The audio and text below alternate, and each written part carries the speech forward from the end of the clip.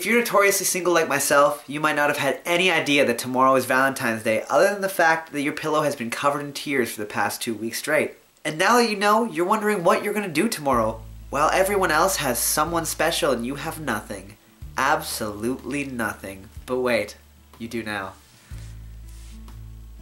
My album. 11 songs, sure to break your little heart, even worse than it already was. Cry with me. Cry hard. Cry so, so hard. You think you're sad? I'm sadder. You think you're upset? I'm upsetter. You think you are full of tears? I have so many tears that I could drown myself. Now you can be sad with me. With Valentine's Day gifts, dinners, and excursions, you could be spending upwards of $100 on a loved one. But to spend Valentine's Day with me and my album, just $10. Canadian. And the Canadian dollar is so low right now that it's practically $8 American. So tomorrow, instead of watching Oprah and crying yourself to sleep at 4 in the afternoon, why don't you toss on my CD?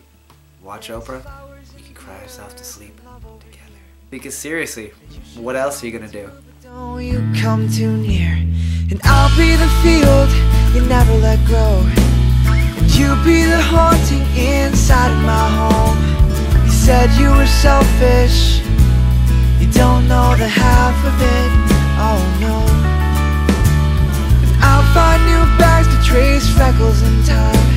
You chase me in songs and stories. I write You said all the words in the world.